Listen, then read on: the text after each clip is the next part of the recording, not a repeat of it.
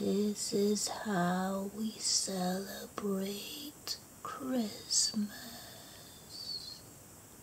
Christmas with the family.